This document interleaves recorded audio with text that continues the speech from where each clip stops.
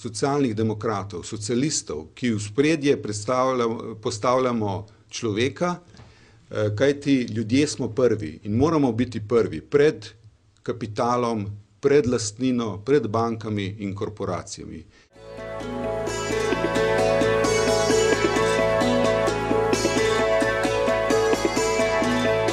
Thank you.